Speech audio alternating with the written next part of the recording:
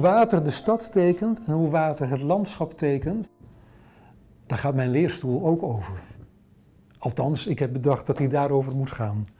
Ehm, mijn uh, leerstoel in Delft gaat over stedenbouw in relatie tot de fysieke condities van het Nederlandse deltalandschap. Het is een hele mond vol, maar het gaat er dus over dat je steden niet op zich bekijkt, dat die in relatie tot een landschap staan dat die fysieke condities kennen. Nou, de fysieke conditie van een deltalandschap is stromend water. Dus het gaat heel erg over die beweging en hoe land en stad zich tot elkaar verhouden. Het water eh, vormt eigenlijk de, de stedenbekundige uitleg van de stad. Zoals hier de, de, wijnhaven, de vroegere Turendrit, natuurlijk eigenlijk als een soort uh, kronkelende banaan door dat land gegaan is. Eh, zo is ook de stad gevormd. Dus eigenlijk alle contouren van de stad zijn bepaald door het water. En je ziet wel dat er in de 17e eeuw een meer rationele houding was. Dat kan je zien aan het nieuwe werk. Waarin uh, bijvoorbeeld bij de Nieuwe Haven een heel stuk nieuw land gekomen is. Wat dan ook heel recht en strak verkaveld is. Maar kom je in dit gedeelte van de stad, dan is het allemaal heel erg gevormd door de grilligheid van de rivierloop. In geestelijke zin is de ziel van de stad het water. Daar ben ik van overtuigd. Dat de binnenstad van Dordrecht zonder water, ja, is een lege huls. Dat, is, uh, dat, dat stelt niet veel voor. Dat water bepaalt hier de, de ziel van de stad. Dus overal die kijk op het water, die kleur van het water, niet te vergeten, dat beetje groenachtige.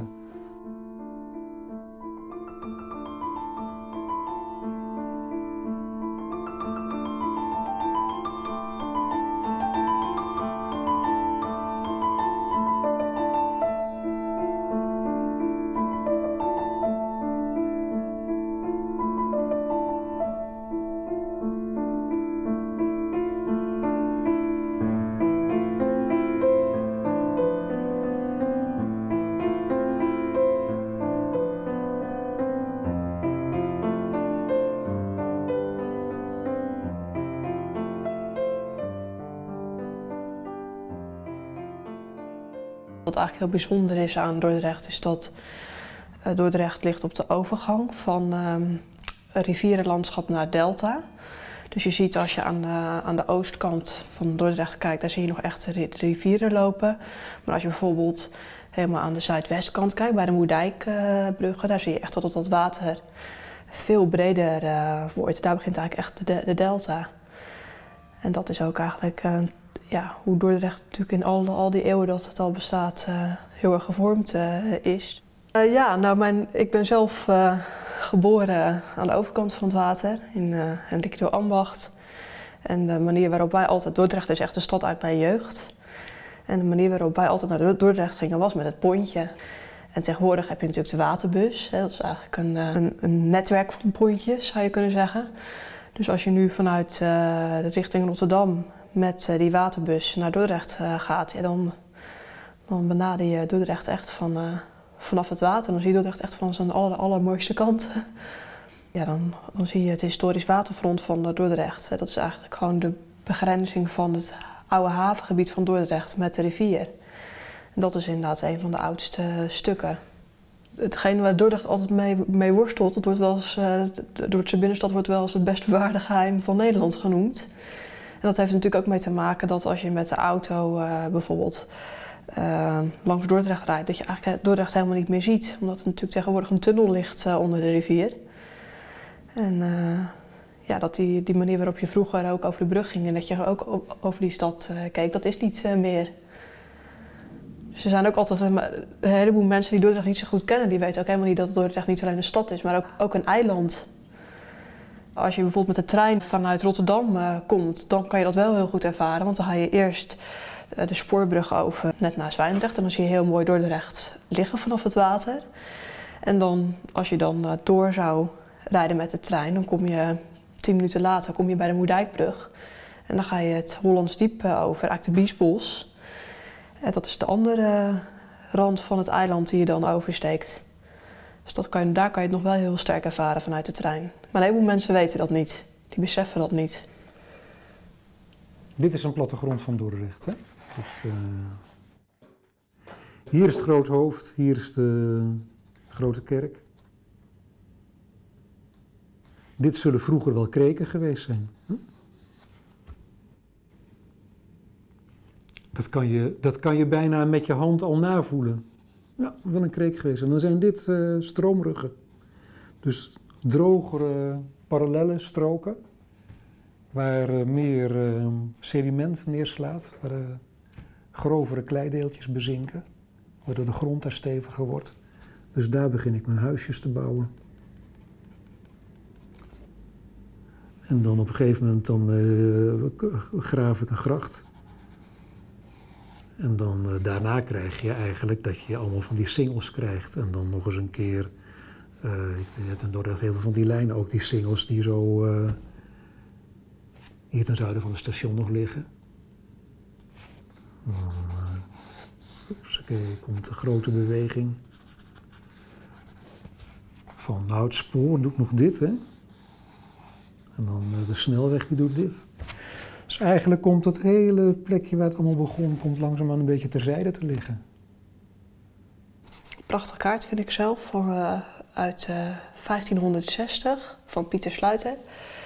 En die laat eigenlijk zien hoe Dordrecht erbij bij lag, meer dan 100 jaar na een serie grote overstromingen die dit gebied toen hebben getroffen. De Sint-Elisabethsvloeden uit 1421. Wat je eigenlijk op deze kaart al ziet, je ziet eigenlijk al wat meer dan 100 jaar later dat er alweer nieuw land in, de, in die uh, binnenzee ontstaat. Dat zijn zandbankjes, um, ja, vaak door het slip wat de rivier ook weer meenam, uh, ontstonden die. En in die kaart heb ik de huidige contouren van het eiland van Dordrecht gemonteerd. En wat, wat dat heel mooi duidelijk maakt is ja, dat het water heeft ervoor gezorgd dat dat land is verdwenen en tegelijk dat er weer nieuw land ontstond. En de mensen die in dit gebied leefden, die hebben in de eeuwen daarna met een gigantisch bedijkingsproces eigenlijk weer land teruggewonnen op dat water. En de sporen daarvan, van dat bedijkingsproces en die landaanwinning, um, ja, dat, dat, die zijn ook nog heel erg zichtbaar in, in de hele stad. Niet alleen in de historische binnenstad, maar eigenlijk in de hele stad en ook op het hele eiland. En dat is voor mij wel echt ook uh, ja, dat is wat Dordrecht heel bijzonder maakt in relatie tot het water. Kom je op de Noordendijk. Dat is ook een, een bijzondere dijk, omdat daar in de jaren negentig een dijkversterking heeft plaatsgevonden. Waarbij de, ja, de versterking en de extra hoogte die gemaakt moest worden op die dijk, gemaakt is door middel van een, uh, een verticale wand. Die ook meteen weer als een fundering heeft gediend voor nieuwe huizen. De, die wand die loopt eigenlijk tussen de rijweg voor de auto's en de fietsers voor een deel. En verderop uh, is die geïntegreerd in uh, de, bouwblokken die daar staan. Dus daar hebben de mensen ja, die wand eigenlijk in hun huis zitten. Die oplossing wordt ook, ook wel de Dordtse wand genoemd.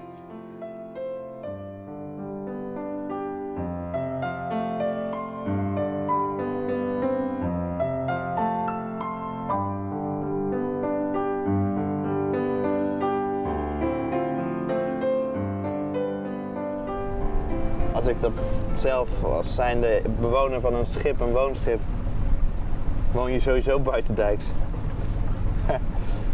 Het is de charme van het water, de, de, de, het karakter van de stad, uh, het, het, leven ook met die elementen, en met name het water dan.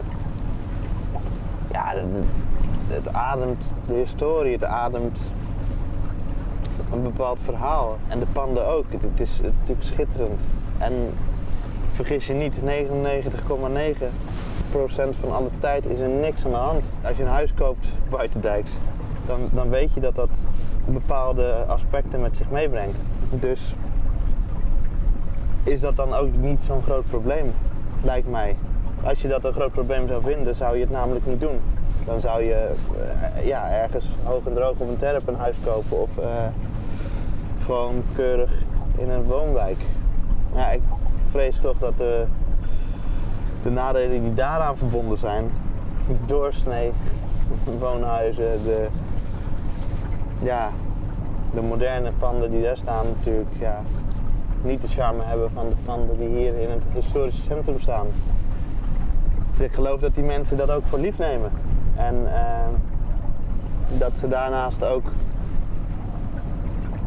misschien dat zelfs beschouwen als een soort um, ja, een eer dat te kunnen dragen. Dat ze er trots op zijn dat ja, wij wonen hier ondanks hè, dat, dat het af en toe hoog water kan worden. En wij vinden het eigenlijk geen probleem.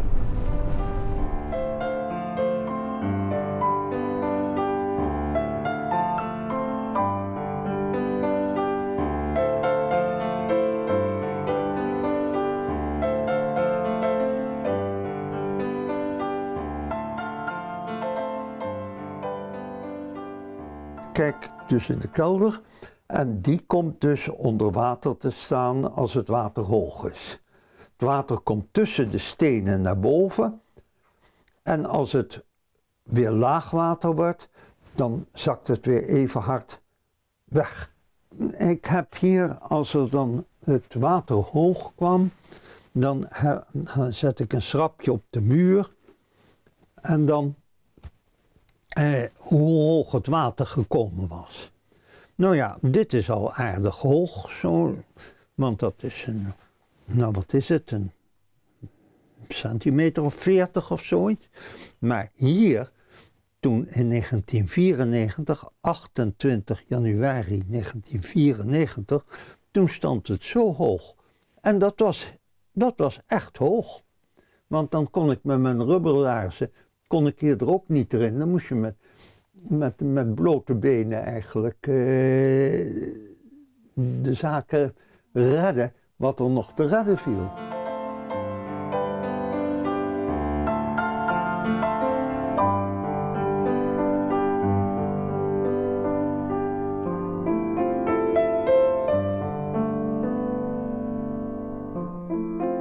We zijn hier komen wonen eigenlijk omdat lopend op zaterdagmiddag door de binnenstad langs die havens en die geur van dat water en dat klotsen van dat water een soort idyllische sfeer creëerde.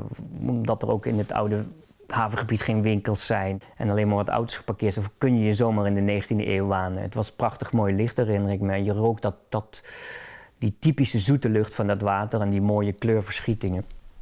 Ons huis staat eigenlijk ja, op, op resten van andere huizen en daar zit dan tien lagen baksteen tussen als fundament. En als nou de rivierstand al te hoog wordt, dan komt dat water, dat zo mooi is om aan te wonen, komt dan toch als een soort ongenode gast je huis binnen. Door alle kieren in de vloer, door die tien lagen baksteen waar dit huis eigenlijk op drijft bijna, drukt dat, wordt het grondwater omhoog gedrukt en zo het souterrain in. En zoekt dan een weg. Het eerste water komt hier.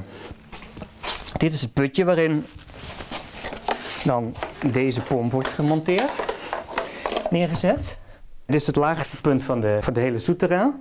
En dan kan het, eh, het grote stromen beginnen. Dat is wat er gebeurt als het, eh, als het water de vijand wordt. Meestal een uh, halve dag later zijn we weer beste maatjes. Want het is allemaal zo erg niet als het lijkt. Dus ja, dit huis is wel, wel getekend daardoor. Ja.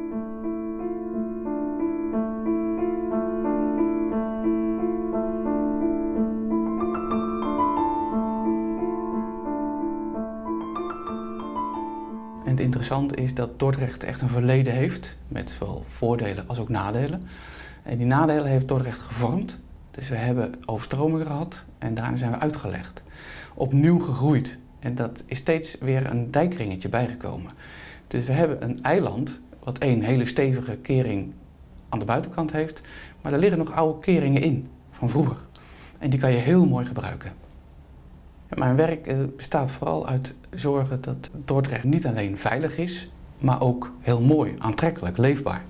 Ik werk voor de stad, voor Dordrecht. En waterveiligheid is natuurlijk heel belangrijk, maar is eigenlijk niet de taak van de gemeente, maar weer van een waterschap en het Rijk. Maar gezamenlijk proberen we zeg maar, Dordrecht niet alleen veilig te maken voor water, maar ook aantrekkelijk. En we hebben een Delta-programma gehad en die heeft vijf jaar lang gekeken naar hoe kunnen we Nederland de komende 100 jaar veilig houden. We hebben een afspraak gemaakt dat iedereen binnen de dijkring moet basisveiligheid krijgen. En dat is vertaald naar zeg maar, een dijknorm, dus een hoogte van de dijk. Maar het was niet alleen het Delta-programma voor waterveiligheid. We wilden eigenlijk ook koppelen aan meer kwaliteit, ruimtelijke kwaliteit. Het is heel nadrukkelijk ook door de minister erin gebracht. En dat is heel lastig. Maar bij Dordrecht hebben we een mogelijkheid gezien om dat toch te doen. En dat is ontzettend gewaardeerd. En we hebben de ruimte gekregen, dat wordt genoemd een pilot meerlaagsveiligheid, om te kijken hoe kunnen we nou niet alleen die waterveiligheid bereiken die we eigenlijk hebben afgesproken, maar ook kijken hoe dat kan optellen met meer ruimtelijke kwaliteit, ecologische kwaliteit, meer leefbaarheid, beschermen van cultureel erfgoed. Allemaal dat bij elkaar. Het gaat om het gebruik van een regionale kering. Dus een van onze oude keringen die we nog hebben liggen. En die willen we zo gebruiken, dat is één dijkdoorbraak. Als die plaatsvindt, dan stroomt het hele stedelijke gebied vol. Dus dan heb je heel veel schade en heel veel slachtoffers. En door het gebruik maken van een van die regionale keringen en ervoor te zorgen dat die ergens denkbare overstroming wordt afgeleid naar het landelijk gebied, dan beperk je dat enorm. Dit zijn uh, plaatjes van de dijkring van Dordrecht en hier uh, staat verbeeld eigenlijk de meerlaagsveiligheidsstrategie. Dus de eerste laag is preventie en dat is dan ook onze primaire kering, dus echt de buitenring.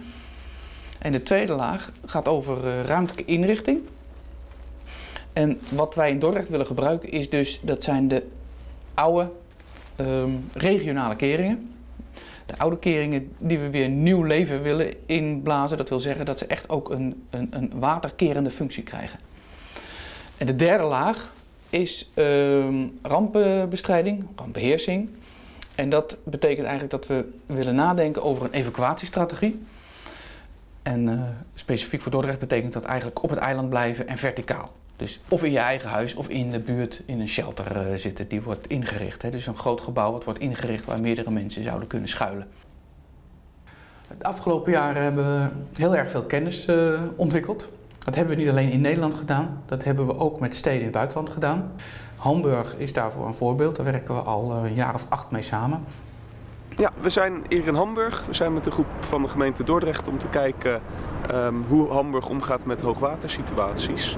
En we staan hier in het bijzonder bij de vismarkt en bij de oude stad, omdat dat voorbeelden zijn van projecten waar we heel veel van kunnen leren. Dordrecht heeft in normale situaties iedere dag ongeveer 70 centimeter getijdenverschil. En dan richting de extreme kan daar 2 à 3 meter maximaal bovenop komen. Dat is uit ervaring. En hier in Hamburg zit dat verschil echt in de meters. Dus dan heb je het al snel voor 4, 5 meter getijdenverschil. En in de echt extreme situaties komt het hier meer dan 7 meter boven een laag pijl. Ja, er zijn heel veel overeenkomsten. Um, ze liggen allebei aan een rivier. En de, de invloed van de rivier is ontzettend bepalend eigenlijk in de hoogwaterstanden en in de scenario's. Um, ja, en verder zijn het ook allebei steden met heel veel historische gebouwen. Um, ja, net zoals de binnenstad van Dordrecht zijn daar extra opgaven om die goed te beschermen tegen het hoge water. Ja, dat Zelfredzaam Eiland, dat komt wel uit de koker van uh, Dordrecht. Um, op zich is de naam niet meer zo heel bijzonder, wordt veel gebruikt. En de term refereert eigenlijk dat je um, hier op het eiland eigenlijk slecht weg kan. Als er hoge nood is met water, dus dat echt uh, van zee in rivier het hoog zou staan, dan kan je echt het eiland niet verlaten. Je kan heel slecht evacueren. Als wij met z'n allen op het eiland moeten blijven, sommige mensen die zijn niet zelfredzaam, die kunnen niet naar een hoge plek zelf komen. Nou, daar kunnen vrijwilligers wat in betekenen en dat kan het Rode Kruis dus met hun strategie van die ready to help en hun aanpak gewoon ook uh, aan bijdragen. Tot aan het westen van uh, Dordrecht kunnen zeeschepen komen. En eh, nou ja, daar kunnen ze dan over zeg maar, de lading op uh, binnenvaartschepen en anders hier in Dordrecht blijven of op, op ander transport. Maar Dordrecht heeft een zeehaven en een zeedijk die zo heet. Maar ik bedoel, de, die, die functioneert nu niet meer als kering. Maar de andere dijk die heeft niet die naam van zeedijk, maar dat is gewoon ook een kering die de zee moet keren. De invloed van de zee moet keren.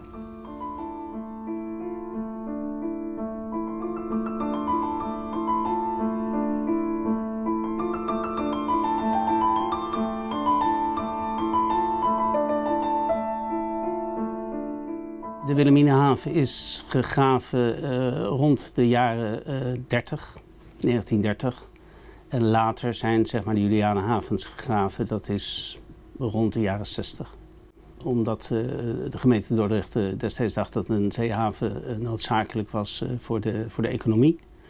Goederen die overgeslagen worden in de zeehaven van Dordrecht liggen tussen de 3 en de 3,5 miljoen ton per jaar. Nou, je hebt eigenlijk twee, twee verdienpoten. De ene poot is het havengeld wat je, wat je binnenkrijgt omdat de schepen hier laden lossen. En vervolgens heb je dus als de uh, bedrijven op erfpacht zitten, dan krijg je ook nog de erfpachtkanon.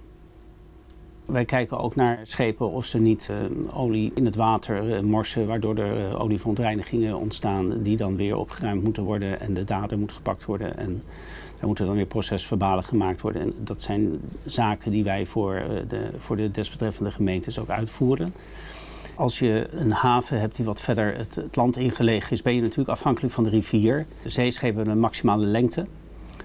En ze hebben ook een maximale diepgang. En dat heeft te maken met het feit dat ze over de rivier, over de Oude Maas, komen ze varen vanuit zee. De achterlandhavens zijn voor ons ook heel erg belangrijk, omdat dat vaak de havens zijn die de wat kleinere partijen makkelijker kunnen behandelen. En in Rotterdam, uh, omdat het een hele grote haven is, is dat toch vaak de wet van de grote getallen. Uh, even kijken, Amsterdam, Amerika haven. Wat heeft u geladen? Ten eerste is het natuurlijk belangrijk dat uh, de zeehaven een zeehaven blijft. En, en, voor een zeehaven heb je dus ook zeehavenbedrijven nodig. Nou, we hebben nog een aantal kavels die momenteel nog uitgegeven kunnen worden. Dus binnen onze commerciële afdeling van het havenbedrijf zijn we hard aan het werk om daar de juiste bedrijven voor aan te trekken.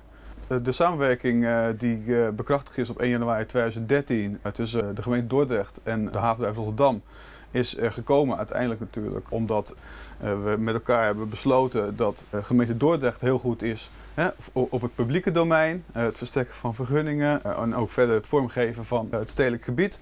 En dat het havenbedrijf heel goed is in het verder verstevigen van ja, een havenindustrieel complex. En als het economisch goed gaat met een gebied zoals een zeehaven, ja, dat heeft het uiteindelijk natuurlijk een directe impact op de stad Dordrecht. Qua werkgelegenheid, qua talentontwikkeling. Stad en haven is, schuurt altijd. Dus dat zie je ook in Rotterdam. En dat, is, uh, dat speelt hier natuurlijk ook. Hè? Dus in eerste instantie kan je denken van... Nou, het economische belang is, is nummer één. Hè? Dus geef volledige ruimte aan die havenbedrijven om hier verder door te gaan met hun exploitatie. Ja, dat komt er wel op neer dat zij meer geluid gaan maken, een grotere een milieucontour nodig hebben. Ja, en dat schuurt dan ten opzichte van wat de stad wil. De stad wil ruimte geven voor haar burgers. Ja, tot hoe ver gaat dat? Hè? Die hebben ook een bepaalde cirkel. Nou, op een gegeven moment komen de beide cirkel van stad en haven komen over elkaar heen. Ja, en wat heeft dan de voorkeur? En, en, goed, daar hebben wij als havenbedrijf Rotterdam heel veel ervaring mee. En ja, het is een kwestie van goed op tijd afstemmen aan de voorkant van wat zijn de mogelijkheden. Zowel publiekrechtelijk als te kijken fysiek in de buitenruimte. Kan je misschien een scherm plaatsen? Kan je misschien in samenspraak gaan met klanten dat ze misschien s'avonds net niet die container lossen, maar dat weer s morgens om 8 uur begint. En zo probeer je door met elkaar te praten een gezamenlijke oplossing te vinden dat zowel goed is voor de economie, hè, voor die havenontwikkeling, als uh, voor de stad en dat de burger ook uh, een goed uh, heeft.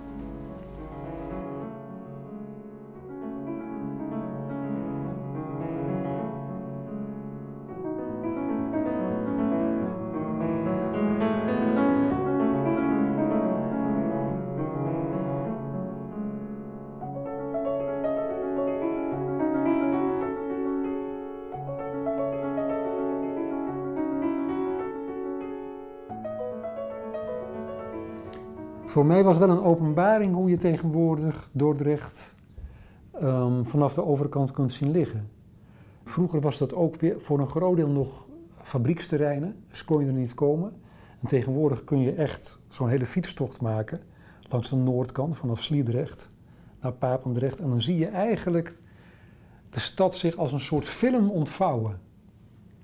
Met het silhouet van de verschillende torens die zo ten opzichte van elkaar schuiven.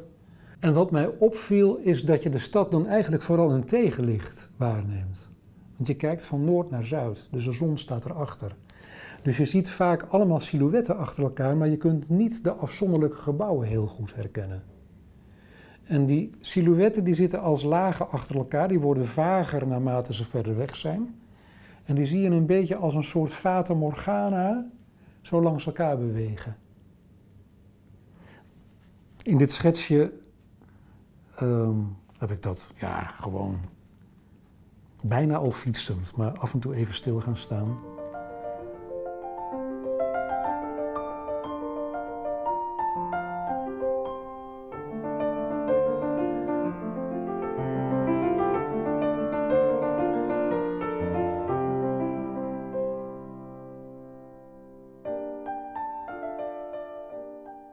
Ik uh, ben fotograaf, beeldend kunstenaar, uh, doe mijn eigen projecten.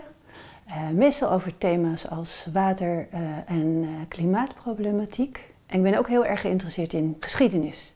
Ik heb een aantal projecten in het buitenland gedaan over water. Maar ik ben de afgelopen twee jaar erg in Nederland bezig met hetzelfde thema. En, en stuitte daarbij op het grote mysterie van de Grote Waard. En daarmee ben ik aan de slag gegaan. Vanaf 1350 was Dordrecht heel erg belangrijk. Het was eigenlijk de stad van het graafschap Holland. Ik vond dat een heel interessant gegeven, want daarna is het heel erg bergafwaarts gegaan met, de, met het eiland en de stad. Destijds was Dordrecht een stad op een opwas. En het achterland was de Grote Waard. En de Grote Waard was ontstaan door afdammingen. Dus eigenlijk waren er poldertjes aan elkaar gezet, waardoor het ook een beschermde eenheid was geworden. De Grote Waard en Dordrecht gingen eigenlijk ten onder door de diversiteit aan uh, oorzaken. Er waren grote stormen en de Sint-Elisabethsvloed wordt als eerste oorzaak uh, telkens genoemd. Maar men was ook uh, heel erg de dijken aan het ondergraven, omdat er zoutwinning buiten de dijken plaatsvond. Dat haalde men uit het veen en daar moest voor gespit worden, gegraven. Daarnaast werd turf gewonnen voor de brandstof. En dat werd ook binnen- en buitendijks gedaan. Dus er werd heel veel gegraven in de omgeving van de dijken. Dus we, eigenlijk ondergroef men zijn eigen dijker. Daarnaast was de politieke situatie echt heel pet. Hoekse en kabeljauwse twisten waren aan de gang, maar daar ging dus heel veel geld naartoe. 1421 was de Sint-Elisabethsvloed. En in 1470 gaven die nazaten van Wildrecht, waar de grote overstroming en de dijkdoorbraak plaatsvond, in die eerste instantie, pas de, de opdracht aan de, aan de schilder. Dus dit, dit is ook op basis van herinneringen is dit samengesteld, of zelfs van overlevering. En hier zie je ook dat uh, Dordrecht hier ligt. En uh, terwijl de vloed al gaande is, zie je nog steeds de loop van de Maas. Dus het heeft ook enige tijd geduurd voordat dat water werkelijk naar binnen kwam.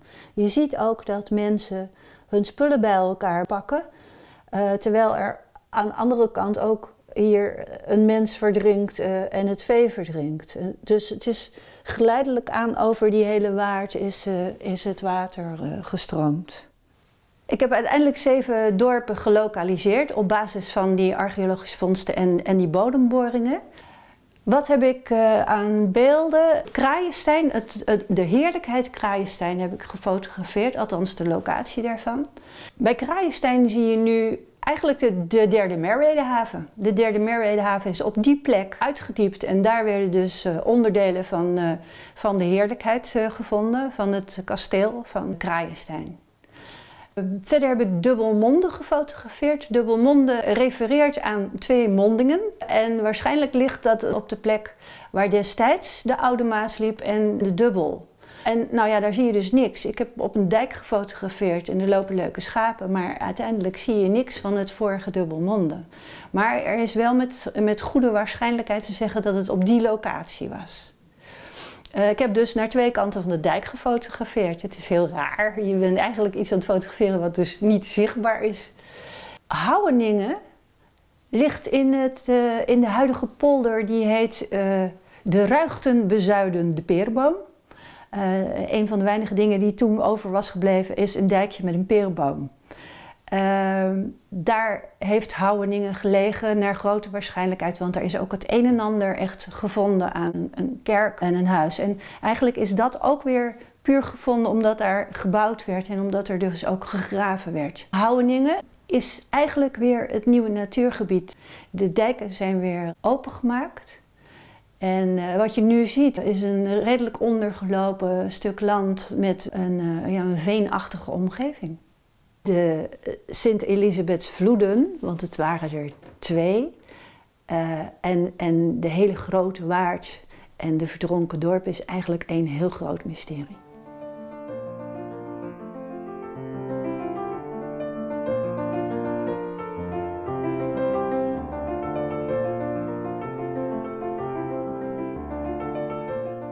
Maar het gekke is dat je in Nederland altijd ook te maken hebt met water wat van uit het land komt. Hè?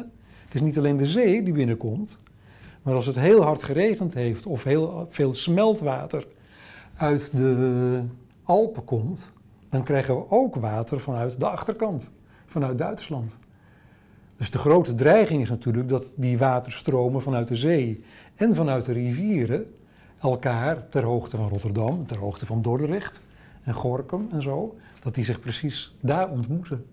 Dus daar heb je de grootste turbulentie en de grootste gevaren eigenlijk om hoe je, van hoe je met het water om moet gaan. Dus tegenwoordig zijn de discussies ook met het oog op klimaatverandering en de stijging van de zeespiegel. En met dat er af en toe grotere regenbuien gaan vallen, zodat er meer water uit de rivierkant komt. Ja, je moet steeds meer gaan gaan reguleren eigenlijk om die gevaren een beetje in de tang te houden. Je moet aan de ene kant leren om daarmee weer wat laconieker mee om te gaan.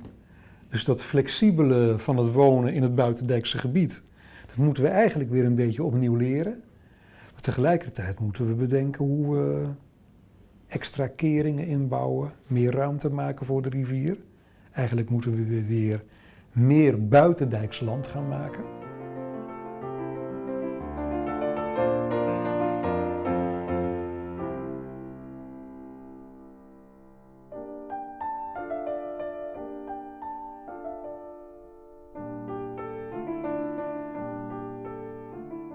Uh, zo hoog gestaan. Zo. Deze hoogte. Dat was uh, februari uh, ergens een jaar of twee terug. Stond het zo op. En meestal komt het dus hier.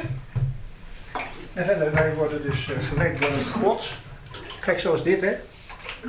Dan gaat het tegen de onderkant van het kozijn aan. En dan liggen we in bed en dan zeggen we, ik hoor een verdacht geluid. En daar, uh, daar komt het mandje uit. Om te kijken of het goed gaat. Ik heb het zelf gewild, want dit zat, uh, dit zat dicht. Kijk maar, dit is beton. En dit zat helemaal dicht. En hier had je dus de luiken. Die zaten aan de buitenkant. Er zat dus geen kozijn in. Dat hadden we dichtgemaakt met beton toen ze dit gerestaureerd hebben, dit hele pakhuis. Maar toen kwam ik hier en ik wilde dus deze ruimte hebben. En ik zag dus de mogelijkheid om een trap te maken naar beneden, in de kamer. En ik moest licht hebben. Dus ik heb gezegd, ik wil dat gat erin hebben. Dus dat die luiken weer voor een raam, dus ik moest het raam erin laten zetten. Met het risico dat het water hoog kwam. Maar ja, is het risico wat je loopt. Kijk, mensen die, uh, die verbazen zich erover. Die zijn begonnen met zo'n foto te maken. En, en ja, allemaal zo, oh, die, die staat er in het water. Oh. Dan denk ik, ja, ze hebben niks anders te doen. Een fotootje maken, het is iets geks. Als je gekke dingen doet, dan word je bekend. Dus, uh, en ik heb het afgehouden, want in het begin stond ik daar gewoon voor. En toen kwam ik tot ontdekking dat ze allemaal foto's stonden te maken. Dus ik denk, nou, luxe leuk naar beneden, weg, klaar. En toen begonnen ze aan de deur te bellen. Van, mogen we even binnenkomen, mogen we even kijken? Nee, nee, daar heb ik helemaal geen zin in. En ik heb nu, uh, krijg ik uh, kranten toegestuurd van alle hoeken van Europa en zelfs daarbuiten. Van, uh, hier staat in de krant hoor. Dan zeg ik, ja, Verdien je er geld mee? Nee, helemaal niks.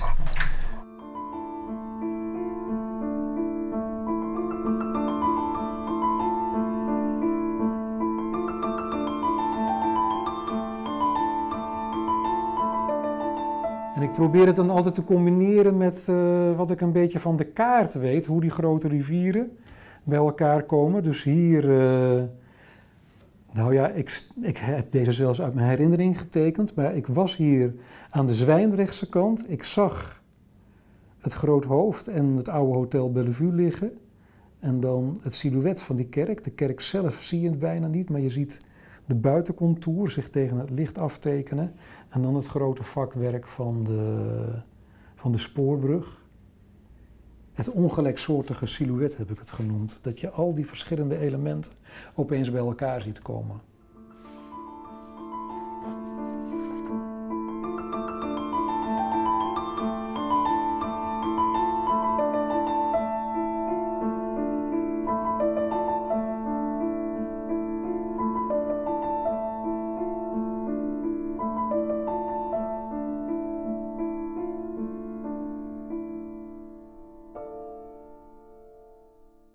We staan hier in het gemaal Johan Vis, uh, een wat kleiner gemaal in de buurt van Dordrecht, vlak tegen de Biesbos aan, Dordrechtse Biesbos. Uh, als waterschappen zijn wij geen bedrijf met een winstoogmerk.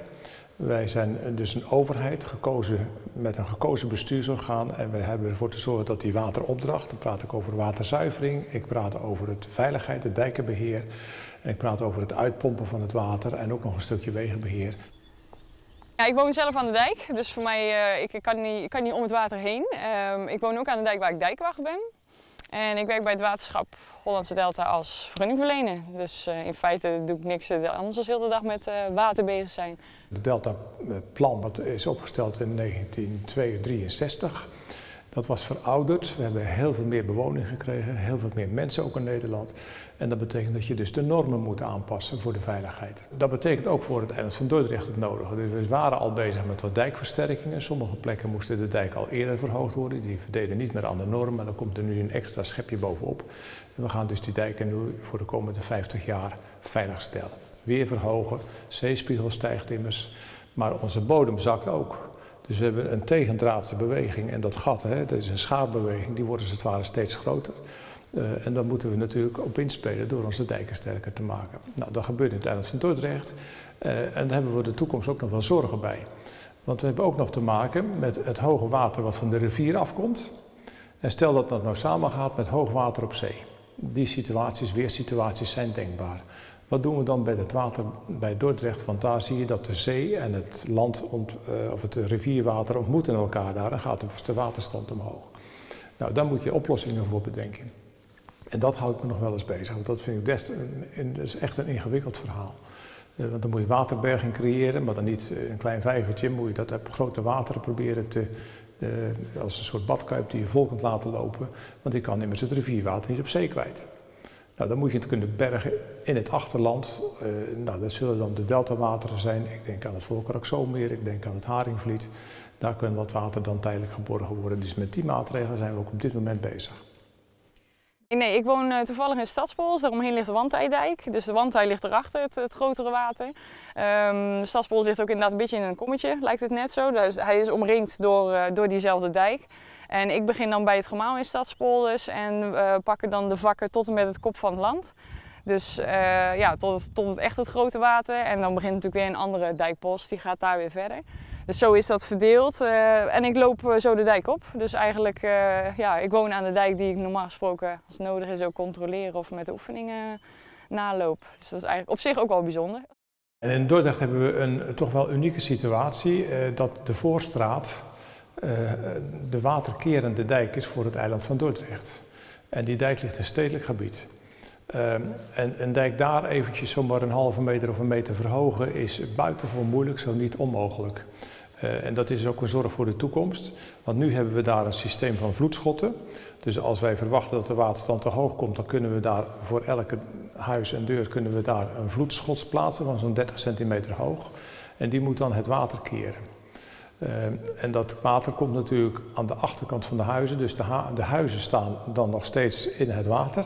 En die, die vloedschotten zitten tegen de huizen aan, dus dan kan het water niet door de huizen heen over de dijk lopen. Nou, dat is de situatie. Daar hebben we een systeem voor bedacht. En dat wordt elk jaar getoetst en worden gekeken of al die bouten in die muren er nog steeds op hun plek zitten. Want er wordt natuurlijk verbouwd. Uh, soms wordt uh, door iemand zijn bout weggehaald. Die denkt, ja, ik moet mijn deur een beetje breder maken. Hup, weg met die bout. Nou, dan heb je dus een gat in de dijk. Dat moet je zien te voorkomen. Dus dat wordt elk jaar nagegaan en er wordt ook getoetst. Wordt ook regelmatig even gecontroleerd of die dingen er nog zitten. Uh, dat, is wel, dat, is, dat is wel uniek. En dat is ook een opdracht voor de toekomst. Want hoe ga je er nou over 50 tot 100 jaar mee door? Als de zeespiegel is gestegen, en als eh, de rivier een keer heel hoog water komt, is dan die voorstad nog wel in staat met die vloedschot om het water te keren. En dat zijn ingewikkelde processen die we nu moeten uitrekenen, moeten, moeten, moeten doorlopen van, eh, ja, kan dat allemaal nog wel? En hoe moeten we dat dan doen in Dordrecht? Dus daar zijn we volop over aan het nadenken hoe dat moet. Het mooiste vind ik dat waar je ook de stad uitrijdt, ga je het grote water over. Dus het besef dat je op een eiland woont vind ik heel mooi. Maar ik vind het verschil heel erg groot dat als je... Ik woon in een, in een, in een wijk die ooit in een polder is gebouwd. Dus je bent ja, omringd door het grotere water en omringd door, uh, door dijken. Maar als ik de binnenstad inrij, dan vind ik het dus weer mooi dat het eigenlijk open is. En dat is ook de kades, ja, kunnen ook onderlopen, maar goed.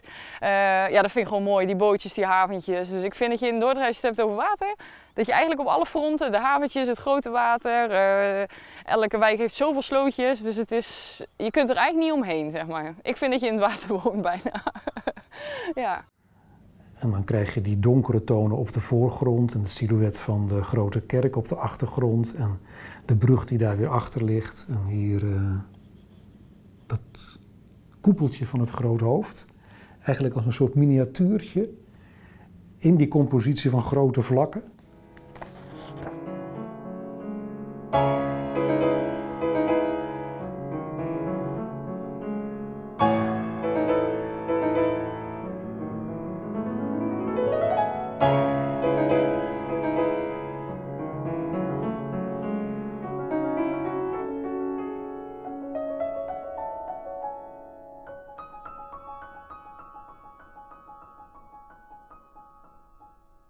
We bevinden ons in de oude watertoren van Dordrecht. In 1882 uh, is men met de bouw eh, begonnen.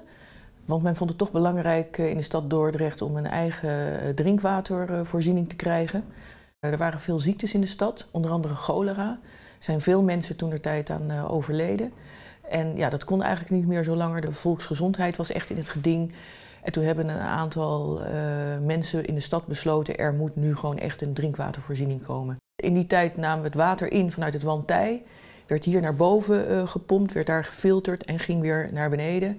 En ging op die manier uh, de stad in. En tot 1965 heeft deze watertoren echt gedraaid als drinkwaterzuiveringslocatie. maar toen werd de stad te groot, dat ging niet meer. En in 1965 hebben we daarom in Baanhoek een nieuwe zuiveringslocatie geopend. Vanuit twee bronnen eigenlijk maken we ons drinkwater. De ene bron is het oppervlaktewater. We nemen water vanuit de Maas nemen we in, slaan we op in uh, spaarbekkens in de Brabantse Biesbos. En daar verblijft het water vier tot zes maanden. En daarna wordt het doorgepompt naar uh, de zuiveringslocatie op Baanhoek. En daarnaast hebben we ook nog grondwater waar we drinkwater uit maken. Dat is vlakbij het Wantij hebben we een pomplocatie waar we het grondwater oppompen. Dat brengen we ook naar onze zuiveringslocatie. En uiteindelijk produceren we meer dan uh, 9 miljoen kub per jaar. we zijn altijd bezig om heel betrouwbaar drinkwater te maken. dat doen we ook op een hele duurzame manier en ook gericht op de toekomst. Dat wil zeggen dat we het belangrijk vinden dat we onze bronnen goed blijven beschermen. Dus zowel het oppervlaktewater als het grondwater. We zijn steeds bezig om de nieuwste technologieën daarvoor in te zetten. De watertoren was natuurlijk in functie tot 1965, maar je ziet dat daarna eigenlijk alles ondergronds is uh, gegaan. We hebben een groot buitenstelsel in de grond zitten. dus je ziet niet meer zoveel van hoe drinkwater eigenlijk zich door de stad begeeft. Dat heeft alles te maken natuurlijk met de kwaliteit van water. Maar bijvoorbeeld net zoals deze watertoren van Dordrecht, dat is natuurlijk wel iconisch voor de stad. Het is mooi gerestaureerd, het is weer een oude glorie hersteld. Uh, je ziet bijvoorbeeld de vier torens. Dat had ook nog een functie, want via de zijkanten en via die torentjes kon je dus komen bij de dienstwoning en onder andere bij de standpijp. Uiteindelijk is, omdat er meer mensen drinkwater wilden, dat wil zeggen dat de druk verhoogd moest worden in het drinkwaternet, is er een stuk op de watertoren gezet, zogenaamde koekblik. En de koekblik had natuurlijk een bepaald gewicht. Daardoor moesten de torentjes moesten toen weg, want het fundament van de watertoren zou het anders niet houden. In 1965 is de watertoren buiten gebruik genomen. Toen is het een hotel geworden en toen zijn eigenlijk die torens weer teruggezet, maar wel op een hele aardige manier, te weten via draad. En uiteindelijk is de watertoren weer in zijn oude glorie hersteld, maar wel met een hele duidelijke moderne touch.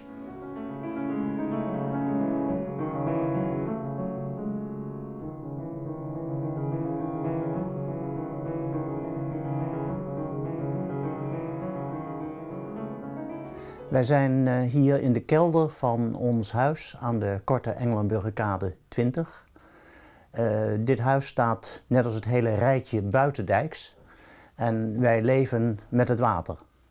En dat betekent bij het getijdenwater, eb en vloed, dat als het extreem hoog water is, dat wij de kans hebben om water in de kelder te krijgen. Want de vloer van de kelder bevindt zich ongeveer 1 meter onder het straatniveau. Kijk, de straat is ongeveer dit niveau. En als het water over de kade heen komt, loopt het dus via het trappetje zo naar binnen. En dan hebben we een zwembad van ongeveer 75 kubieke meter. Als het water over de kade komt, dan komt het dus op dit niveau of zelfs hoger. Het, uh, voor ons is uh, de kritische waarde 2,25 meter boven NAP. Dus als, als er zeg maar noordwesterstorm is, en er is veel bovenwater in de afvoer van de rivieren, dan komt het allemaal bij Dordrecht samen. We wonen er nu sinds 1968. Toen wij dit huis gerestaureerd hebben, toen heb ik in de kelder al het elektra ook op deze hoogte aangebracht. Zodanig dat uh, in ieder geval er geen uh, stoppen doorslaan als er water in de kelder staat. Dat zijn ja, zeg maar hele basische dingen. De koelkast die in de kelder staat, die staat ook uh, ongeveer op deze hoogte. Ook daar kan weinig mee misgaan. Alles wat kwetsbaar is, dat is dus uh, zodanig opgesteld dat we heel snel alles op het droge kunnen hebben. Dat is gebeurd in 1993. Toen hebben we inderdaad uh, ongeveer dit niveau aan water in de kelder gehad. Toen de brandweer s'nachts om een uur of 11, half 12 langskwam, zo van Moeten we hier nog wat doen?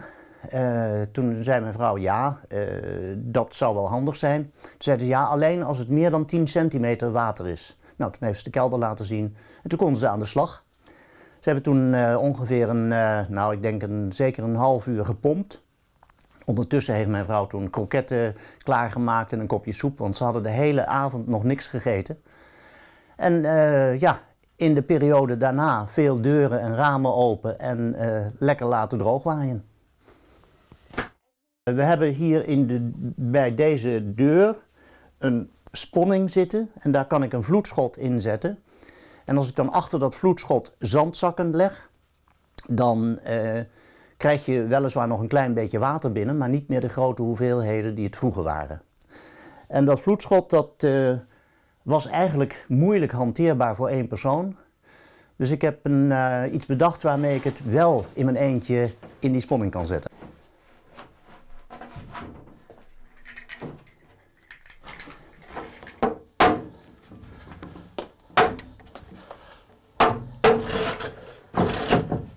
Zo, hij zit. En om te zorgen dat hij uh, het water goed afsluit, sla ik deze kern hier achter. Zo.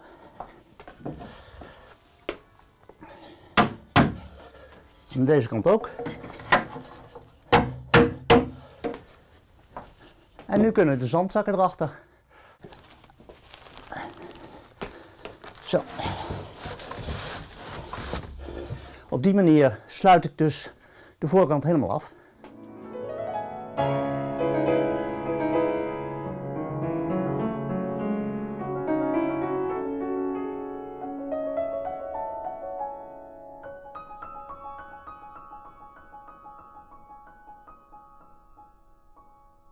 En hier heb ik geprobeerd om de drie silhouetten rondom het drie rivieren kruispunt bij elkaar te tekenen. Nou ja, dit. Ik vond het ongelooflijk inspirerend. Daar kon je eindeloos tekeningetjes over blijven maken.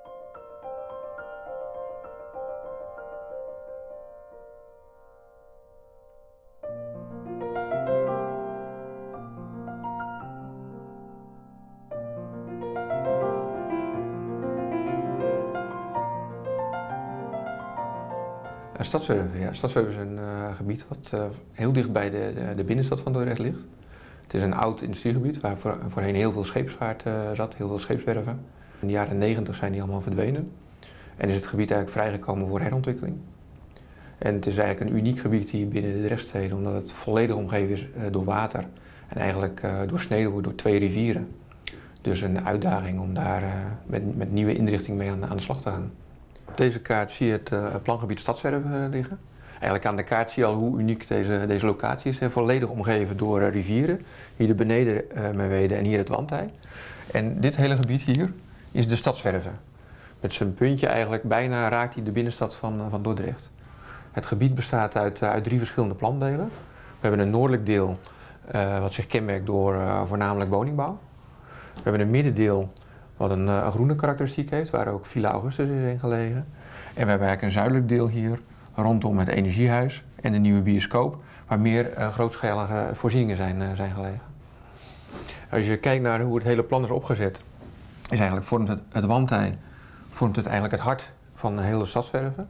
En we proberen eigenlijk ook om het wandtij eigenlijk de dragende kracht te laten zijn van, van het gebied zelf.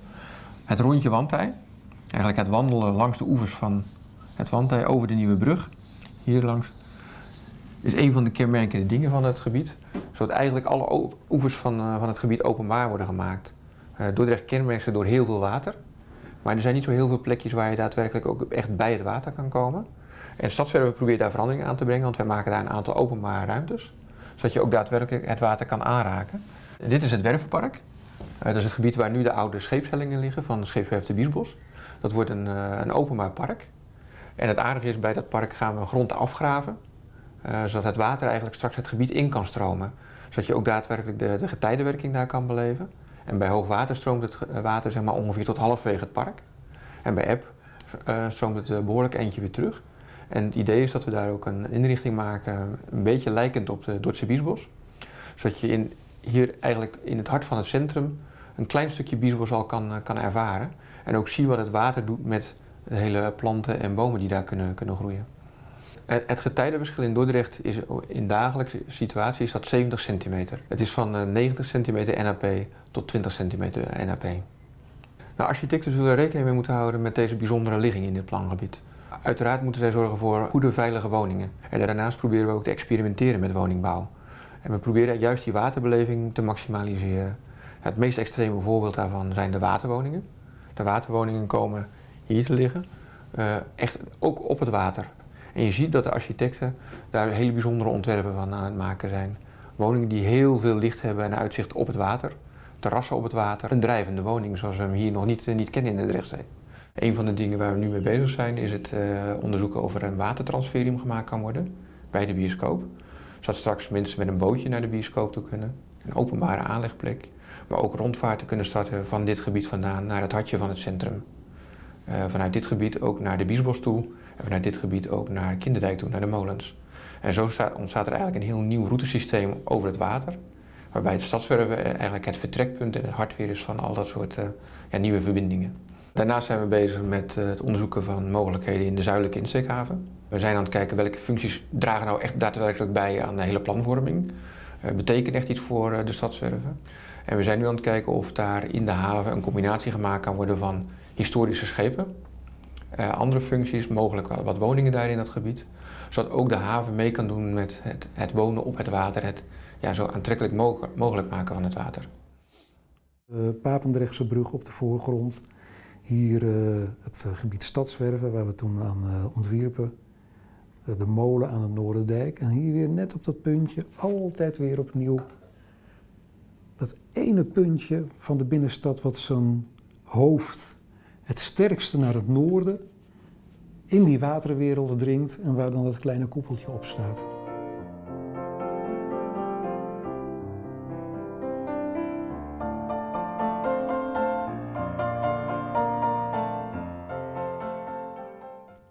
Dat is gek? Dit is maar zo'n klein plekje.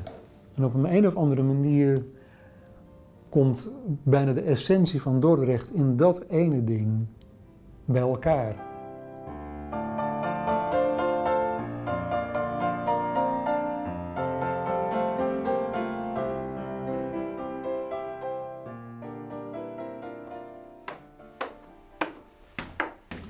Staan hier uh, in ons huis in de kelder voor een groot soort scheepsluik. Dit scheepsluik is de afscheiding tussen de zogenaamde droge kelder, uh, ongeveer een kwart van het huis, een betonnen bak, en de natte kelder, die ligt hier achter en die gaat onder het huis door. En daar kan de rivier rustig binnenstromen. Toevallig hebben we vandaag hoog water. Ik zal nu het luik openen, dan kun je zien hoe het water hier naar binnen stroomt. Dit is dan de nieuwe natte, de natte kelder. Achteraan zie je prachtige varens staan. We hebben hier een tijdje geleden een uh, deskundige gehad, een bioloog, die alles wist van varens. En die zei, meneer, u woont hier op een uh, schatkelder. Hij zag dat op een andere manier. Hij zei, dat is echt uniek. Die varens zag je een paar jaar geleden alleen nog maar in Parijs of zuidelijke. Maar door de frequente zachte winters zijn die varens langzamerhand opgeschoven en zie je ze nu op een aantal plaatsen in Nederland. Niet zoveel, maar hier is een mooie concentratie. Uh, het is hier vochtig en warm. We zitten hier onder het huis, dus het is niet heel koud. En dit is een ideaal klimaat voor uh, varens om te groeien. Het komt nog steeds een beetje naar binnen, eh, denk ik, het water. Het wordt nog steeds wat hoger. Er komen wat plankjes binnendrijven. Dus je kunt hier ook zien dat het water vooral van die kant naar deze kant naar binnen gaat. Ik verwacht dat het nog straks een 10 centimeter hoger wordt, maar niet dramatisch, zodat het uh, ver onder dit niveau blijft. Kijk, wat wij nu hoogwater noemen, wat we de laatste jaren een paar keer gehad hebben, dat is nog niks vergeleken met het hoge water voor de deltawerken. Toen kwam het regelmatig aanzienlijk hoger. Hier op de straat voor ons huis ook veel hoger. En uh, ja, in een normale winter had je toen uh, een aantal keren water wat op, uh, op dit soort hoogte terecht kwam. Dat was natuurlijk een unieke situatie. Uh, maar ja, het is allemaal maar betrekkelijk. Voor de deltawerken was het echt een heel ander verhaal. En daar zit helemaal niets bij vergeleken. En toen hadden de mensen ook hele andere zorgen. En is het ook wel eens via de straat aan de droge, droge kelder terechtgekomen waar we nu staan. Dat hopen we nu te beschermen door het plaatsen van zandzakken. Als ze aan de voorzijde via de raampjes het water naar binnen zou kunnen komen. Wij maken ons geen zorgen over het hoge water. Niemand hier in de buurt, met wie je ook spreekt. Kijk, er zijn wat ongemakken. Uh, die scheur hier was wat ongemakken. We hebben toen in uh, een paar nachten hebben we wat moeten, het water moeten verwijderen, wegscheppen met dweilen enzovoort, omdat het hier naar binnen siepelde. Ja, dat is dan jammer. En dit hebben we overigens nu hersteld. Dat is nou iets wat je ervoor over moet hebben. Maar het is niet veel meer dan dat. Dus wij maken ons geen zorgen. Bovendien zorgt de gemeente behoorlijk goed voor ons. Worden goed gewaarschuwd. En uh, ja, uh, zij delen onze kleine zorgen, zou ik zeggen. Wij vinden het beslist niet erg om buitendijkse woning. We wonen vlakbij de rivier. Uh, dat is bijna eigenlijk alles waard. Ja, ja. Daar hebben we helemaal geen problemen mee. En ik spreek denk ik eigenlijk bijna zeker uit naam van alle mensen die hier uh, in deze buurt, ook in andere buitendijkse buurten wonen. Daar spreek ik uh, bijna uit naam van hen allen, kan ik wel zeggen.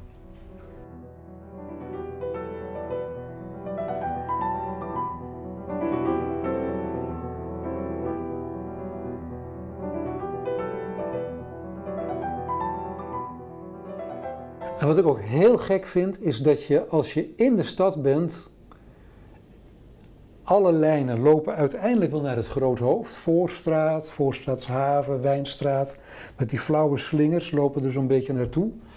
Maar je ziet niet waar je naartoe gaat. Die lijnen die slingeren zo dat je elke keer wordt je blik weer een beetje afge, afgeleid. Wordt een beetje dichtgezet. En dan helemaal op het laatst is een heel klein poortje echt als een soort voordeur. En dan ga je doorheen. En achter die voordeur ligt heel Nederland voor je gevoel. Daar opent opeens zich dat panorama.